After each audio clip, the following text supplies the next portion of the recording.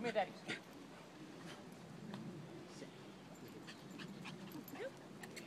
Look at that puppy.